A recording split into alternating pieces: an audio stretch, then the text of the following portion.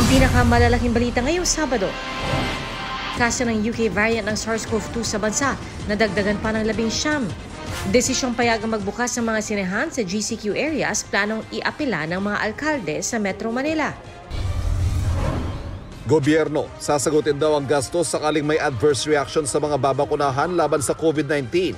Pero saan kukuha ng pondo? Huli ka, tatlong miyembro umano ng grupong nasa likod ng pananambang sa isang dating gobernador, arestado. KTV bar pugad umano ng prostitusyon ng mga Chinese ang parokyano. Mahigit 50 babae. Nasagip. Batang magkapatid patay matapos kumain ng nakalalasong uri ng alimasag. Khalil Ramos may sweet surprise para sa girlfriend na si Gabby Garcia ngayong Valentine's Day. At pampagod vibes ang mga paandar ng pag-ibig para sa Valentine's Day na umabot pa sa iba't ibang sulok ng mundo.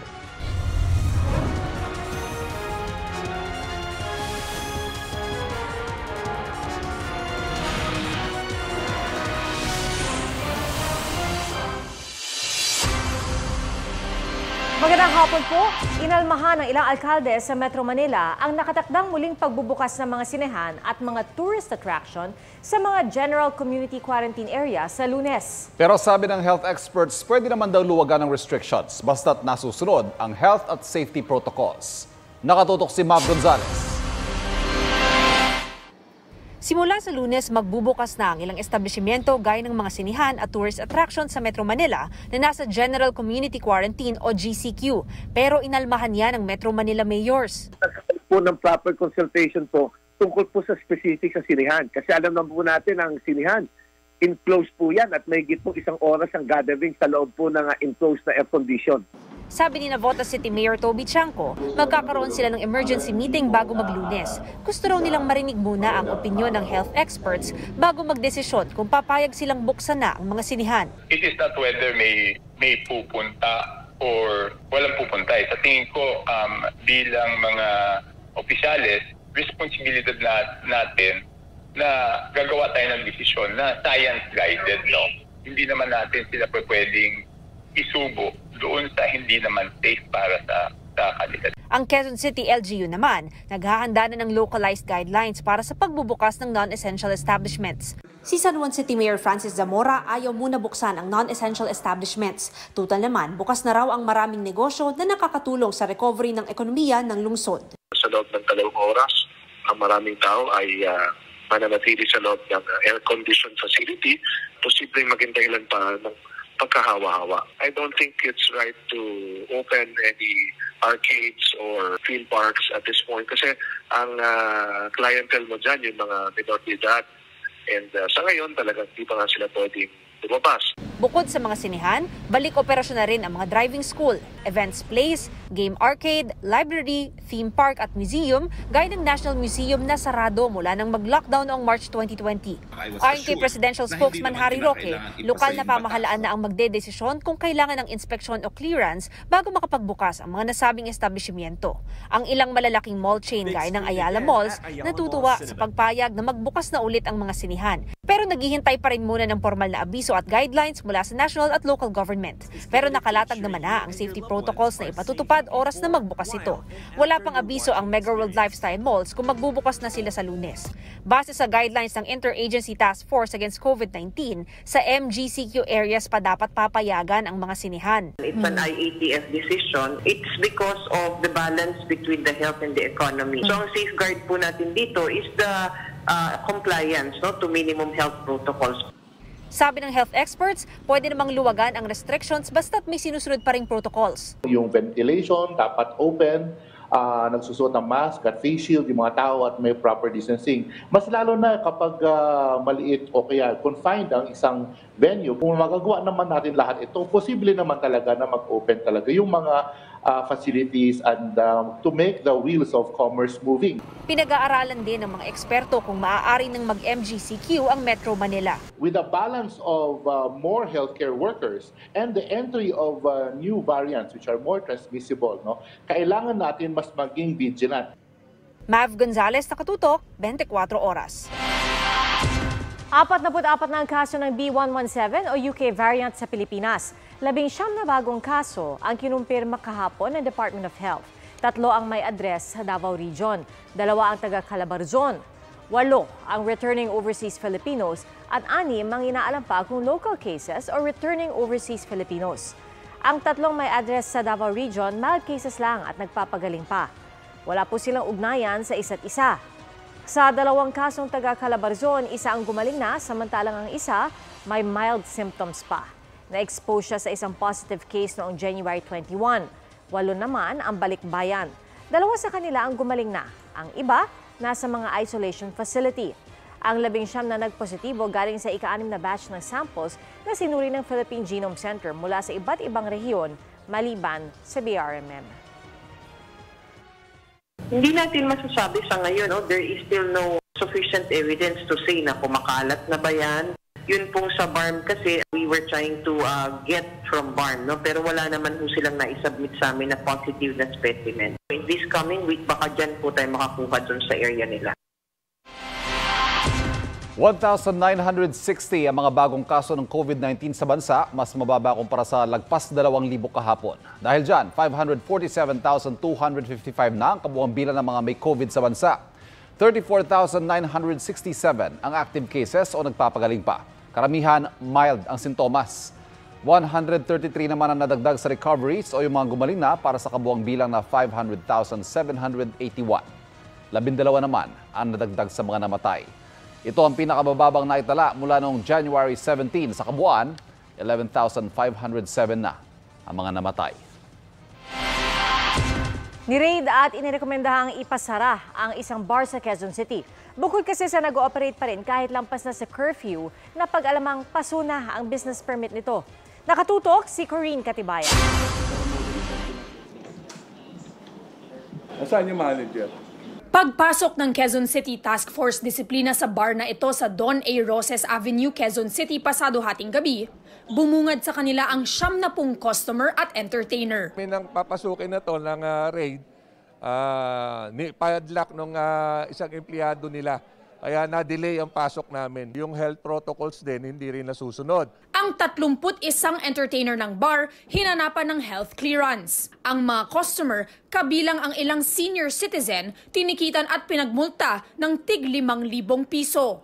Hindi na sila nagbigay ng pahayag. Yung legal na capacity, 50% pa lang violation na rin ho ito. Sinorveillance kasi namin to ka kanina at uh, 11 o'clock nagpapasok pa rin ng customer. Expired na rin umano ang kanilang business permit. Tumangging magbigay ng pahayag ang management ng bar. Sa dami ng uh, violation nito, uh, recommended for uh, closure. Corinne Katibayan, nakatutok 24 oras. Susunod! Huli ka! Arestadong miyembro umano ng gun for hire group na nasa likod ng pananambang sa dating gobernador. Sangkot din daw sa ibang krimen. Tutok lang dito sa 24 Oras Weekend.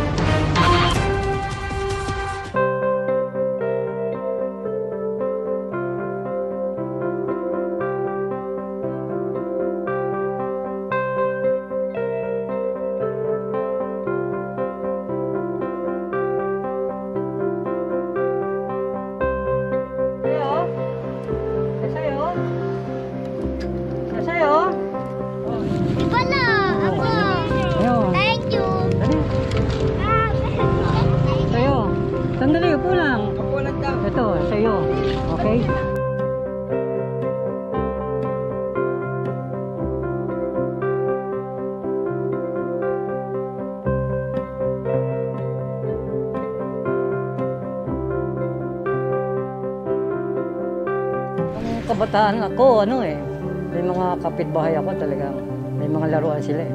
Pag nakikita ko, nainggit ako. Uh, ayun, talagang wala eh. Walang pambili, puro tingin lang. Kasi batang kalye po ako eh. Layas po ako. Simulit yung bahay namin, malaki pa yung kulungan ng baboy.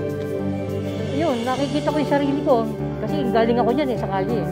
So pag binigyan mo na isang bagay yan, masayang masaya na. Nakikita ko yung sarili ko. Sige ba laruan? Sandali, ha?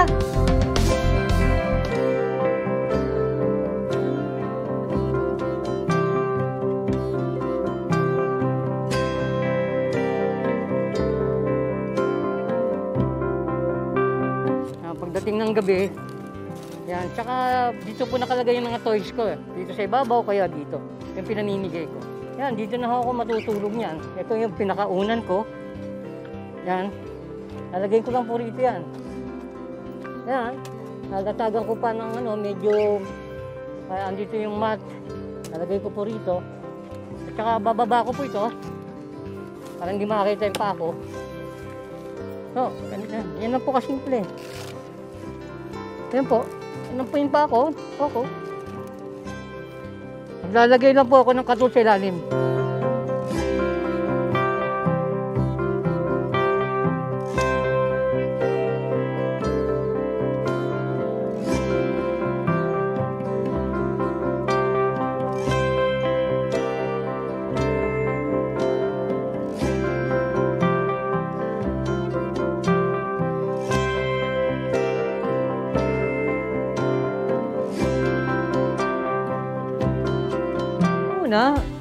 Laruan, meron akong laruan. Wala naman akong pera. Wala akong pera, ipang pwedeng bumili ng grocery, pagkain, wala, wala. wala. Can't afford ako. Yung toys po, talagang napakarami kong toys. Eh. Ah, yun lang, yun lang kaya ko. Ito, suot nyo muna to. Oh, suot, suot, suot. Suot mo yan, suot mo, suot mo. Please. Salamat.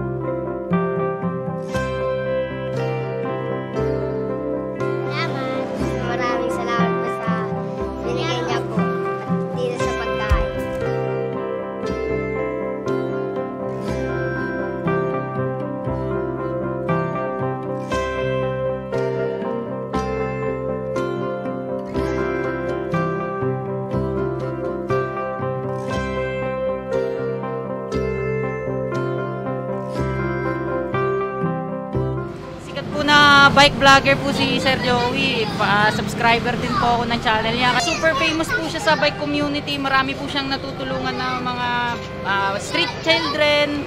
Nagbibigay siya ng mga laruan pagkain. So, kaya idol na idol ko po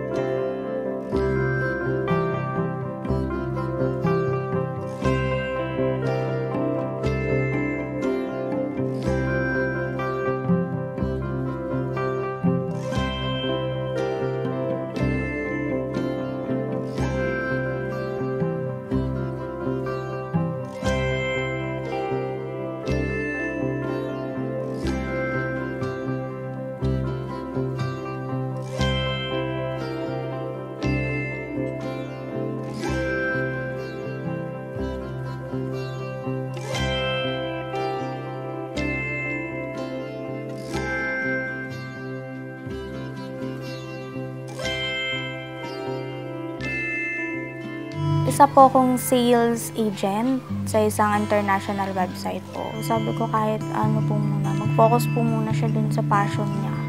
Matagal niya na rin naman po kaming binuhay eh. So parang ako naman po ngayon.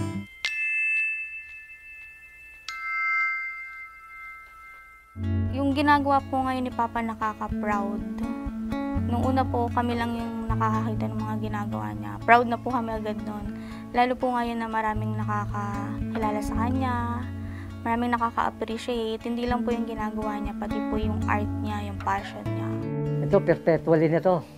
Endless na po ito hanggat kaya ko. I'm 6 years old po. Hanggat may nagdo-donate pong toys. For the kids. Tuloy-tuloy po ito.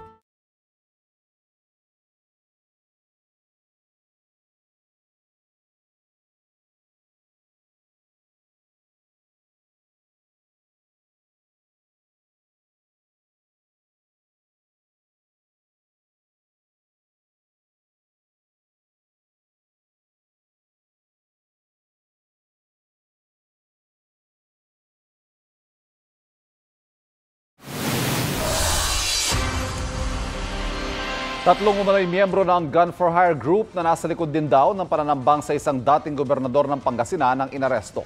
Yan ang tinutukan ni John Consulta, exclusive. Sa kuha ng CCTV sa San Juan, Batangas, kita ang isang nakaparadang kotse na sasakyan daw ng kanilang primary target. Nang makita na ang kanilang subject, lumabas na sa katapat na nakaparadang AUV ang sakay ng mga tauhan ng San Juan, Batangas Police. Pero nang mapansing may kasama pala sa tinte ng sasakyan ang suspect, agad rumisponde ang iba pang backup na pulis at tinutukan ang sasakyan hanggang sa mapalabas ang mga sakay nito.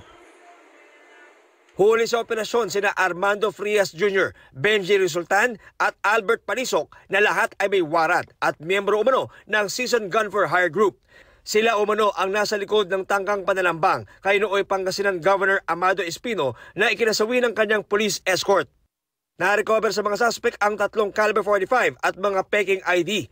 Ayon sa pulisya, na monitor nilang muling nagre-regroup ang Gun for Hire Group para sa isang bagong patrabaho kung kaya't sinikap nilang makuha ang grupo nang lumapag ito sa Batangas. uh, monitor po namin sir ay uh, involved sila sir sa illegal drugs kung saan ito pong uh, isa din po sa mga suspect ay uh, listed po ito as high value individual sa illegal drugs and uh, recommended as uh, priority target ng uh, Pangasinan PPO Okay. sa illegal drugs po. Apo, ang mga baril po na na-recover sa kanila ay ah, ipas, pinapasa po namin to sa ano, no, for forensic ah, examination.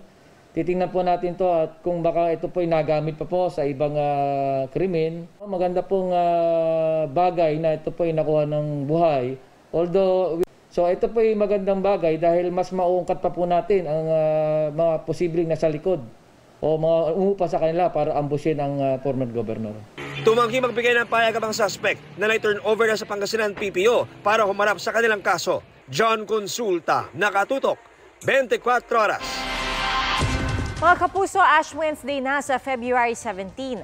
Ang magiging new normal sa simula ng Kwaresma, alamin sa pagtutok ni Salima Refran. Vatican na mismo ang nagtakda na imbis sa pagpapahid ng abo sa noo, gagawin na itong pagbubudbud sa ulo. Hindi na rin gagawing isa-isa ang pagbabasbas. bago bumaba at magbudbud ng ashes nido po sa sa bulubunbunan ng mga tao ay sasabihin nila ng pare remember that you are dust and to dust you shall return. O kaya ah, repent and believe in the good news. At pagpalit, ah, paglapit ng mga tao na yuyuko sila wala nang sasabihin.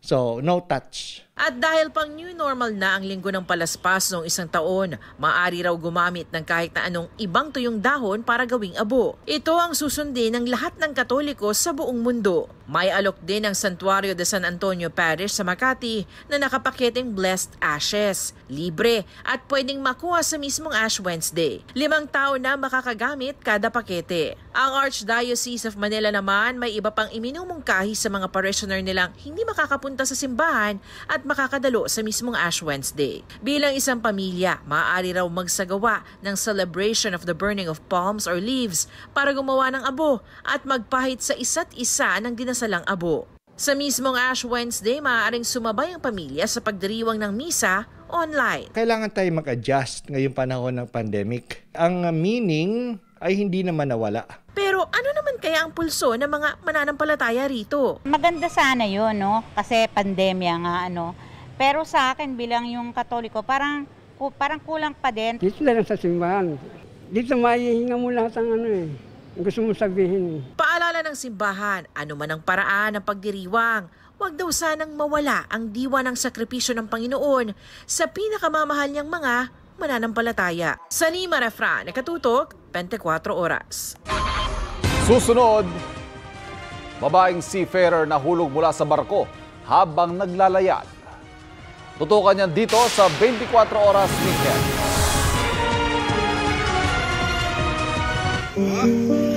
Nung? Nung ตื่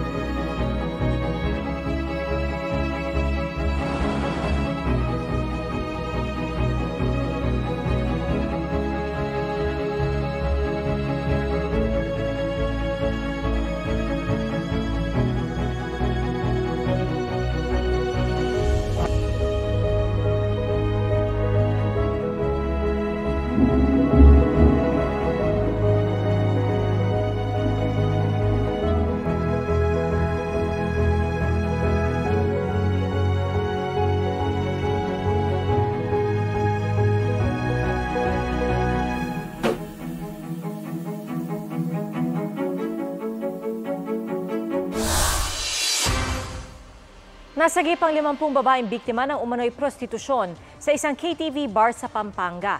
Limang suspect ang inaresto. Nakatuto si Corinne Katibaya.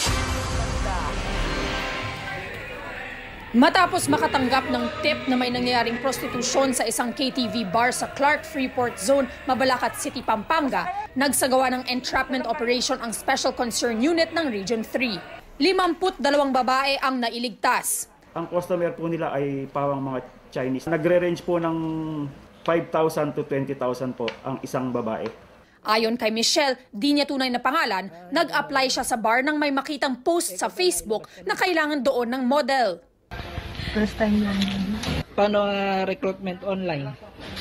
Nakapost ko Sa ah, parang Facebook page, ganyan. Pero hindi mo alam kung anong ano may prostitution doon o wala. Alam ko. Ang isa naman sa mga suspect na si Meli Ngo, sinabing ang usapan ay magta-translate lang siya sa mga Chinese. Two days lang usapan namin na magta-translate ako. Hindi mo alam na mga may prostitution doon? Hindi ko po alam. Walang pahayag ang iba pang suspect. Sasampahan sila ng kasong paglabag sa Expanded Anti-Trafficking in Persons Act of 2012. Inaalam pa kung sino ang rehistradong may-ari o operator ng KTV bar. Corinne Katibayan, Nakatutok, 24 Oras.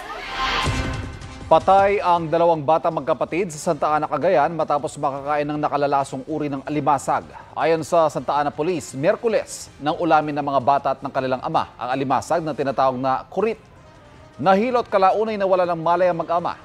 Isinugod sila sa ospital pero nasawi habang ginagamot ang mga batang edad dalawa at lima. Inoobserbahan naman sa ospital ang kanilang ama. Nahuhuli raw ang naturang alimasag sa baybay ng, sa isla ng Palawi. Halos isang linggo nang nawawala ang isang Pinay Sea woman na nahulog sa dagat mula sa pinagtatrabahuhang barko. Naniniwala ang mga magulang ng Sea woman, buhay pa ang kanilang anak. Nakatutok si JP Soriano. Matalino at magaling na seafarer, ganyan ilarawan ang 24 na taong gulang na si Jerlyn Isa Kisumbing na graduate ng BD Marine Transportation. Sumampa raw si Jerlyn sa barko sa gitna ng pandemya para makatulong sa pamilya. Pero habang naglalayag ang kanilang barko na MV Santa Clara sa bahagi ng dagat malapit sa North Sea coast ng Germany noong February 7, pasado alas 3 ng madaling araw, nahulog mula sa barko si Jerlyn. Kwento ng ama ni Jerlyn, base sa sinabi sa kanila ng agency ng anak sa Pilipinas, nag-ayo si Jerlyn ng gangway o yung makitid na hagdan ng barko. Maalon daw dahil masama ang panahon, pero wala raw suot na life jacket at ibang safety device si Jerlyn. Ayun, sa pagpaliwanag nila, humawak daw yung anak ko doon sa sa lubid o sa kung ano man yon sa lubid. Kaya namang bumagsak yung ano yung gangway, yung hagdan. Kumilapon daw po yung anak ko sa tubig. Tumigaw na may nahulog sa barko. Tapos, ni-report agad si Kapitan. Pinatigil yung makina. Tapos, naghagis daw ng mga kung anong floating device. Hindi pa nakikita si Jerlyn hanggang ngayon. Itinigil daw ang search and rescue matapos ang ilang araw. Sabi raw ng agency ni Jerlyn sa kanyang mga magulang. Limitado ang impormasyong ibinibigay sa kanila ng country representative na may-ari ng barko at employer ng kanilang anak. Ayaw rin daw ipakausap sa kanila ang mga kasama ni Jerlyn sa barko. Ang ina ni Jerlyn, naniniwalang buhay pa ang kanyang anak. Kaya mahal din namin siya. Kaya yung nangyari ito, parang hindi ko patanggap. Gusto ko, gusto kong bumalik siyang buhay sa amin. Maawa naman kayo sa anak ko kung makita niyo ako. Kung pwede, pwede niyo akong tawagan doon sa number ko. Eh, paalam niyo naman sa akin kung saan man siya naruroon. Ang lakas ng kutob bubuhay ang anak ko. Kaya maawa kayo, tawagan niyo ako. Baka nagugutom na yung anak ko. Maiiwasan yung aksidente kung walang kapabayaan. Una, nag-duty sila, walang officer. Pangalawa, safety device sila, walang safety harness or safety belt or life jacket. Tinawagan namin ang country representative ng MV Santa Clara, isang container ship sa Denmark. Ang sabi ng nakausap namin, ibang manager ang haharap sa amin. Pero hindi na rin ito nakipag-ugnayan pa sa amin. Ayon sa pamilya ni Jerlyn, nakausap na sila ng OWA at nangakong tutulungan sila. JP Soriano, nakatutok 24 oras.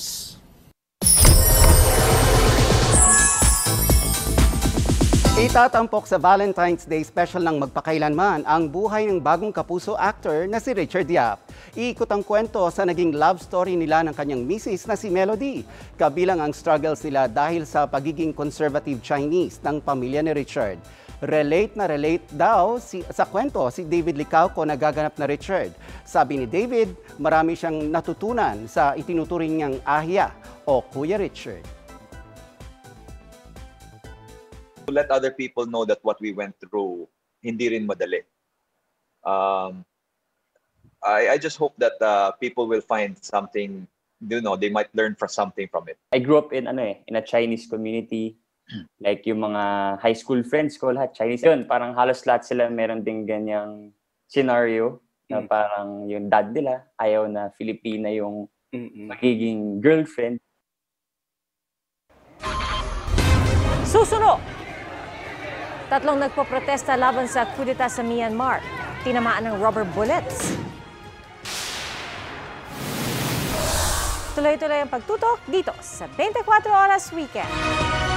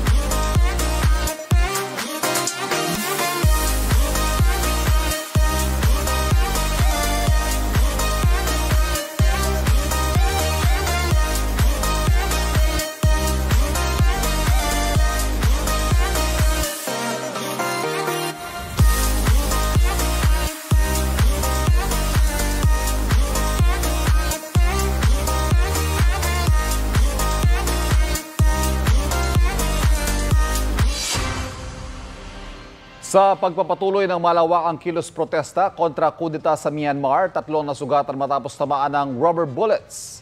Pinaputok yan ng mga polis para ma-disperse sa mga ralista. Binato naman sila ng mga nagrally.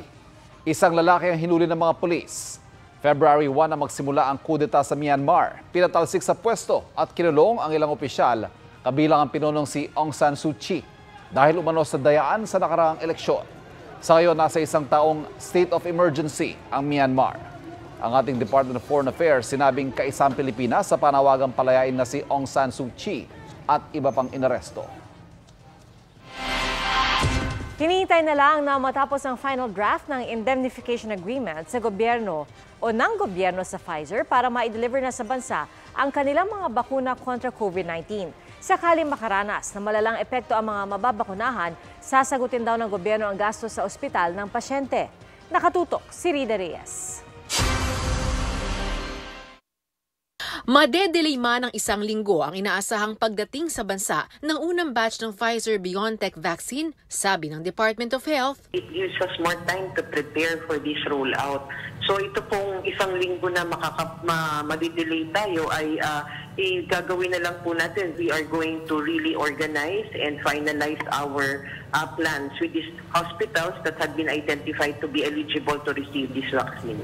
Hinihintay na lang matapos ang final draft ng indemnification agreement sa kumpanyang Pfizer na requirement bago i-deliver ang kanilang mga bakuna sa pamamagitan ng COVAX facility ng World Health Organization. Sa ilalim nito, pumapayag ang gobyerno ng Pilipinas na hindi papanagutin ang Pfizer sakaling makaranas ng adverse effect o malalang epekto ang mga tinurukan ng COVID vaccine. Sa halip, gobyerno ang sasagot sa gastos para rito na maaari raw ikarga ng mga ospital sa PhilHealth.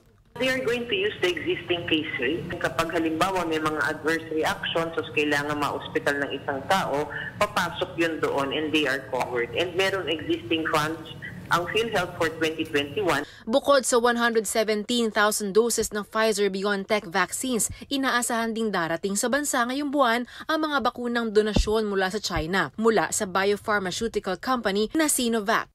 Ngayong umakyat na sa 44 ang B117 o UK variant cases sa bansa, mas pinaigting ang monitoring ng pamahalaan para matiyak na hindi makapapasok sa bansa ang iba pang mas seryosong COVID-19 variant gaya ng nakita sa Brazil at South Africa. Therefore, it is more important for us now to uh, safeguard our borders against the entry of these new variants. Binago natin yung protocol natin for testing those incoming travelers para mas sure tayo ngayon na pag tinest natin sila, mas makukuha natin yung magpo-positibo.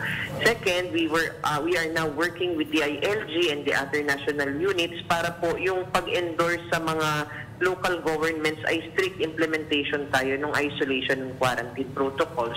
Rida Reyes, Nakatutok, 24 Oras. Up next, ang ilang pampakilig at pampagood vibes na kwento ngayong magba-Valentine's Day.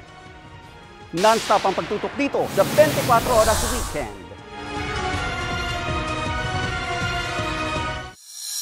Bukod sa paglalaro ng text, POG, habulan, patintero at iba pa, sama-sama nating sinubaybayan sina Eugene, Vincent, Dennis at Alfred, sina Ash, Pikachu at ang mga Pokemon. Sila at marami pang ibang mga karakter ang kinalakihan ng mga batang 90s kakapanood ng anime.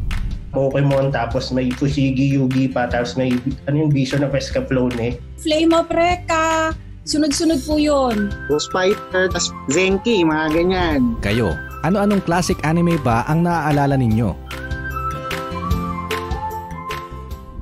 Hindi yan puro kalokohan, puro kakalokohan. Huwag ka magmana sa akin. Napapabayaan ni Gohan ang pag-aaral niya para masanay lang kasama ang Piccolo na yan! Hi! Hello! Kumusta kayong lahat? Ako po si DJ Kara at ako po ay isang voice talent din. Isa po akong dubber. Yung Pokemon, ako po si Ash and yung nanay din ni Ash. Sige, umiwas ka na ngayon! Isa pang Thunderbolt! Nagsimulang mag-dub o voice acting si DJ Kara noong 13 years old. Pero mahilig na rin siya sa anime bago pa man ito. Minsan nai-imagine ko na rin yung sarili ko na parang isa ako dun sa nagbuboses. So minsan hinihinaan ko din yung TV, tapos ako yung nagsasalita, ganon. So nung nagkatotoo, sabi ko, wow, dubber na ako. Pero yung pinaka-big break talaga, yung Pokemon. Siguro nagkataon na bumagay sa akin, kaya yun na talaga. So nung nagkaroon ako ng Pokemon, ang tagal niya kasi ang dami niyang season, di ba? Mula pagkabata hanggang sa tumanda ako, sabi ko, grabe. Yung Pokemon talaga yung masasabi ko na bumuhay talaga sa aming lahat kasi ang tagal niya. As in, dire-diretso siya. Pag natapos yung isang season, may kasunod ulit. So, very thankful ako and grateful ako dun sa opportunity na yun. Umere ang Pokemon sa Pilipinas noong 1999. Sa original na series, mayroong 151 na Pokemon at parami ng parami paglipas ng panahon. Pikachu, kaya mo yan! Alam kong pagod na pagod ka na, pero kailangan mo pa rin lumaban! Sige pa! Thunderbolt attack! O, sobrang saya kasi malalaman mo naman, eh, grabe, ikaw pala yung nagdub nun kapag may mga nagsasabi sa'yo ng ganyan. Grabe, idol, ganyan yan. Tapos naisip ko, boses lang naman yon bakit tuwan-tuwa sila? So, ibig sabihin, ganun din talaga kalaki yung impact sa kanila. Pwede mo ba akong pahiramin ng pera para sa taxi? Isang hapon ay nagtangka silang mamaril ng baboy ramo kahit na pinagbawalan ko sila. Sa ngayon, patuloy pa rin ang paggamit ni DJ Kara ng kanyang boses bilang puhunan, sa likod man o harap ng mikropono. Masaya ako kasi parang forever na nakatatak yung boses ko doon. Kumbaga kahit anong mangyari, kahit magkaroon ng bagong generation, makikwento nila din sa mga anak nila. Oh, parang tanda ko na tuloy. yung parang gano'n, I am so flattered and proud na na uh, na-appreciate pa rin ng mga tao and na ipapasa-pasa nila. Anamichi, ilang beses ko masasabihin sa'yo. Hindi ganyan ang pagdadala ng bola. Gung-gung ka talaga. Isa sa mga veteranong voice actor si Montreal Repuyan. Dahil sa mga karakter na nilapatan niya ng kanyang boses, unti-unti siyang nakilala sa loob at labas ng dubbing booth. Lupin, bumalik ka rito! Come back! Nakakagulat at at the same time nakakaano rin, nakakataba ng puso kasi alam mo yun, sir, mag- mag-order lang ako kaya magsasalita ako. Sir, kayo po ba yung ganito? Actually, minsan natutumbok pa nila eh. Kayo po ba si ganito? Kayo po ba yung nagboses kay Vincent? Kayo po ba si Akagi? Kayo po ba si... Posible ngayong Sabado magbotohan ng US Senate kung hahatulang guilty si dating US President Donald Trump sa impeachment trial.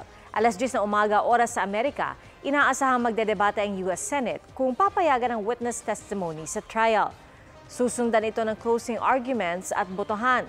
Kailangan two-thirds ng Senado ang bumoto laban kay Trump para makonvict siya. Ma-acquit man si Trump, pwedeng pagbotohan ng US Senate kung pagbabawalan siyang tumakbo muli para sa posisyon sa gobyerno. Na-impeach si Trump nitong January 13 dahil sa pang-uudyok umano ng gulo sa US Capitol noong January 6 kung saan lima ang namatay. Ayon sa defense team ni Trump, walang ebidensya ang mga Democrat na si Trump ang nauudyok sa mga nanggulo sa US Capitol.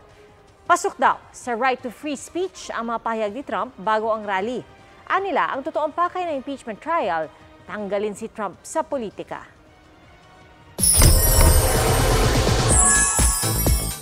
All set na ang Valentine's Day surprise ni Khalil Ramos para sa girlfriend na si Gabby Garcia. Sabi ni Khalil, tiyak na magiging memorable ang kanyang surprise. Ang kanyang clue, may good food at pa-video ang sorpresa. Extra happy rin ngayon si Khalil na nakabili na si Gabby ng kanyang personal car. And that's my chika for tonight. Ako po si Nelson Canlas.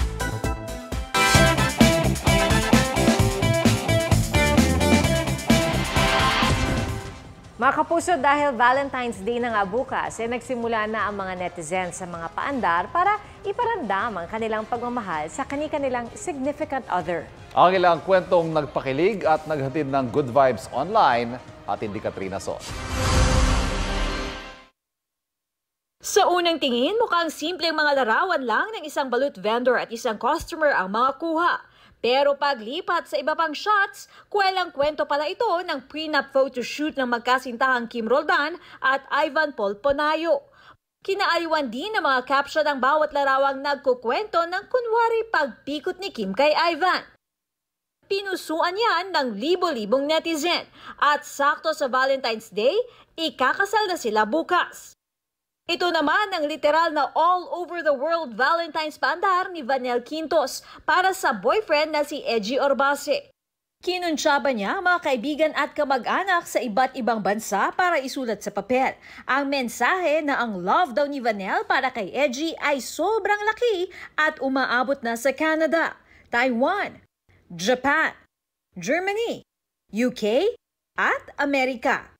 Ano man ang pakulo ninyo sa araw ng mga puso bukas, paalala ng Department of Health. gusto natin lumabas, gusto po natin magkaroon ng kasiyahan with our family. Ah, sana po we maintain our household bubble, yung family bubble natin. Ah, iwasan pa rin ang matataong lugar at ah, wag po tayong ah, maging complacent.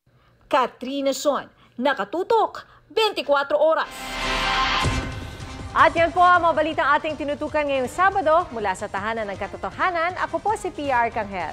Happy Valentine's Day. Ako po si Ivan Merina. Ito ang GMA, walang kinikilingan, walang pinoprotektahan. Walang kasinungalingan, serbisyong totoo lamang. At dahil di natutulog ang balita, Nakatutok kami 24 oras.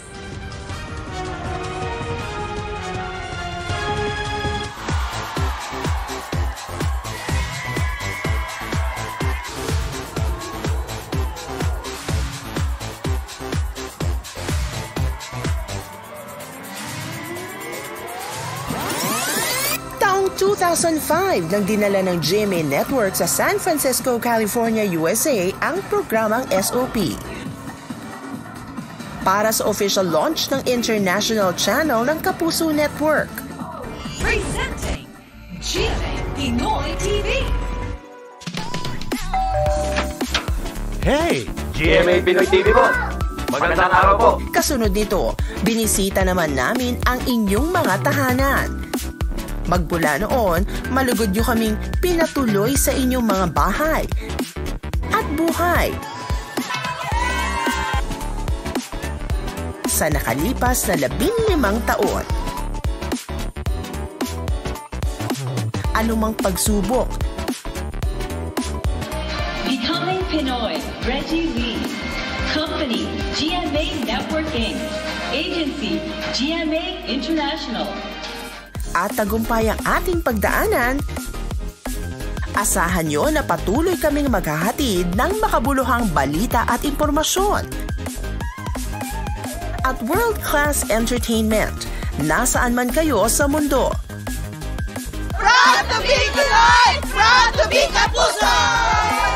Ito ang GMA Pinoy TV. Buong puso para sa Pinoy Abroad.